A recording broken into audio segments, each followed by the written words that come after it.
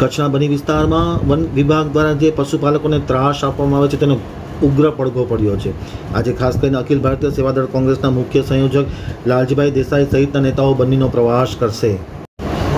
સમગ્ર એશિયામાં ઘાસ માટે બની વિસ્તાર ખૂબ જ જાણીતો છે. આ બની વિસ્તારમાં છેલ્લા કેટલાક સમયથી ખાસ કરીને વન વિભાગ દ્વારા જે કેનાલ બનાવવામાં આવી છે, તેને લઈને પશુપાલકો અને વન વિભાગ સામસામાં આવી ગયા છે. પશુપાલકોનું કહેવું છે કે વન વિભાગ દ્વારા જે કેનાલ બનાવવામાં આવી રહી છે, તેને કારણે પશુપાલકો તેમાં પડી જાય છે.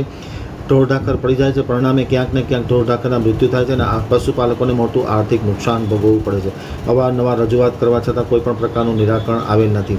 આખરે આજે અખિલ ભારતીય સેવાદળ કોંગ્રેસના મુખ્ય સંયોજક લાલજીભાઈ દેસાઈ અને સ્થાનિક આગેવાનો આજે બનીની મુલાકાત લેશે. હોડકો હોડકો ખાતે પંચાયતમાં એક બેઠક કરશે અને ખાસ કરીને વન વિભાગના ત્રાસ સામે સીધો લલકાર કરશે તેવું પત્રકાર પરિષદમાં માહિતી આપતા તેમણે જણાવ્યું હતું. પત્રકાર પરિષદમાં લાલજીભાઈ દેસાઈની સાથે રામદેવસિંહ જાડેજા, ગનીભાઈ કુંભાર, માનસી શાહ, એચએસ આહિર, ધીરજ ગરવા, રફીક મારા સહિતના આગેવાનો ખાસ ઉપસ્થિત હતા. તમામની ઉપસ્થિતિમાં આજે હોડકો ખાતે આ સ્થાનિક આગેવાનો અને પ્રદેશમાંથી આવેલા નેતા બનીનો પ્રવાસ કરશે અને પ્રશ્નોનું નિરાકરણ થાય તે માટેના હકારાત્મક પ્રયત્ન કરશે. હવે જોઈએ આમતક ટીવી સાથેની વિશેષ મુલાકાતમાં લાલજીભાઈ દેસાઈનો પ્રતિભાવ.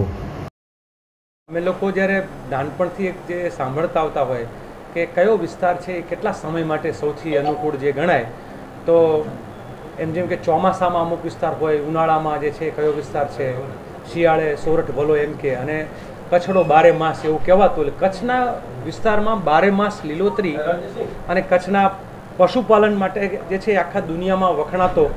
અને વિશ્વની જે સૌથી બે શ્રેષ્ઠ ગ્રાસલેન્ડ કહેવાય એમાંની એક એટલે એ બંને. અને એશિયામાં જે બંને આવેલી છે, એક છે મોંગોલિયાની અને એક છે આપણી બંને વિસ્તારની.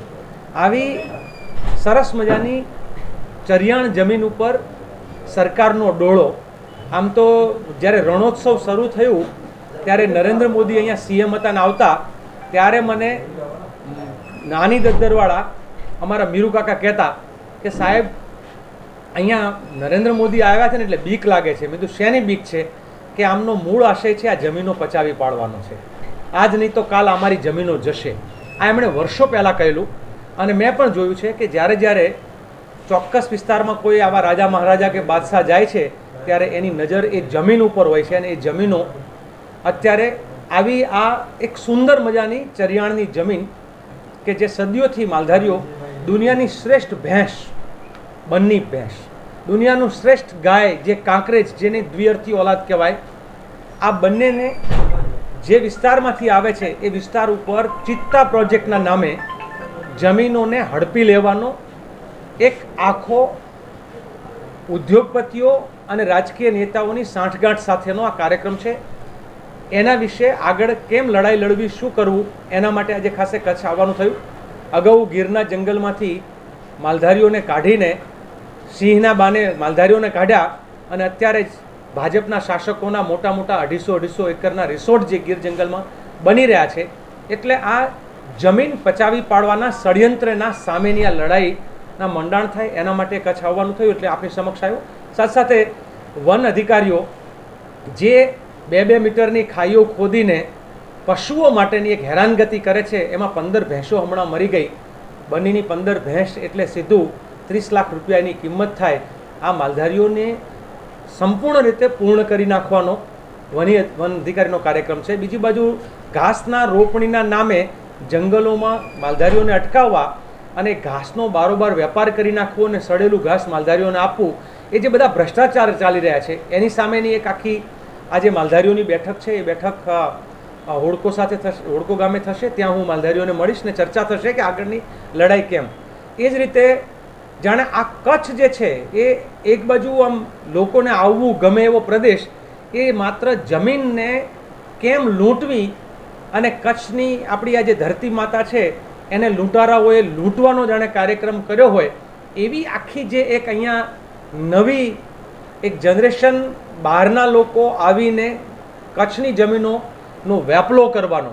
ક્યારેક પવનચક્કીના નામે હોય, ક્યારેક સોલાર એનર્જીના નામે હોય તો ક્યારેક બંદર વિકાસના નામે હોય કે ક્યારેક જે છે એ ખાણ માફિયાઓના નામે હોય. આ આખી કચ્છની જમીનોને લૂંટવાનો જે કાર્યક્રમ ચાલી રહ્યો છે, એને સમજવા માટે અને આવનાર સમયમાં જે લોકોને લાગે છે કે અમારી સાથે ધોખો થયો છે, અમારી જમીનો લૂંટાઈ છે, અમારા ગામની જમીનો ગઈ છે, એવા લોકોની લડાઈમાં સાથ આપવા માટે આજે આવવાનું થયું.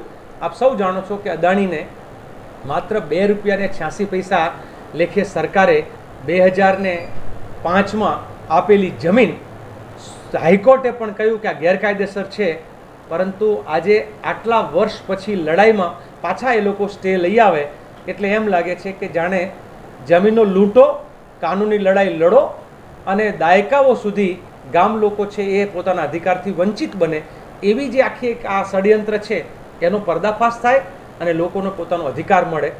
જે દલિતોને ફાળવાયેલી જમીન પચાસ પચાસ વર્ષથી નથી મળી એવા કચ્છમાં એ દલિતોનો, એ ઓબીસી સમાજના લોકોનો અવાજ બનવા માટેનો પણ એક આ પ્રયાસ છે.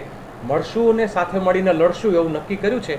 આવનાર સમય બતાવશે કે કચ્છની જનતા જીતે છે કે પછી આજના દુશાસકો જીતે છે. પશુપાલકો જે છે એ બહુ સ્પષ્ટ છે કે પોતે આમાં સૌથી મોટું ષડયંત્ર તો એ છે કે બન્ની છે. એ સરકાર નક્કી જ નથી કરતી કે બન્ની આરક્ષિત વિસ્તાર છે તો આરક્ષિત જંગલ વિસ્તારમાં રહેનાર લોકો છે એ સામાન્ય રીતે એસટી કેટેગરીમાં આવવા જોઈએ. નથી એમને એસટી કેટેગરીમાં ગણવા, નથી એમને રેવન્યુ વિસ્તારમાં ગણવા, તો પછી એમના જે જમીનોના વાળાઓ પણ જે ઢોરને પૂરવાના હતા એ પણ ખાલી કરાવ્યા છે. એટલે માલધારીઓ આક્રમક મૂડમાં છે અને હું સ્પષ્ટપણે કહું છું કે ગુજરાત આખાના માલધારીઓ, ગુજરાતના માલધારી સંગઠનો, હમણાં માલધારી વિકાસ સંગઠનની બેઠક થઈ એમાં પણ સ્પષ્ટ રીતે નિર્ણય લીધો કે જ્યાં જ્યાં માલધારીઓની લડાઈ છે, ત્યાં હિન્દુ અને મુસલમાનના નામની લડાઈ નહીં, માલધારીઓ અને માલની લડાઈ, પશુઓની લડાઈ જે છે એ લડવા માટે ગુજરાત આખાના માલધારીઓ જે છે એ કચ્છના માલધારીઓના સમર્થનમાં આવશે.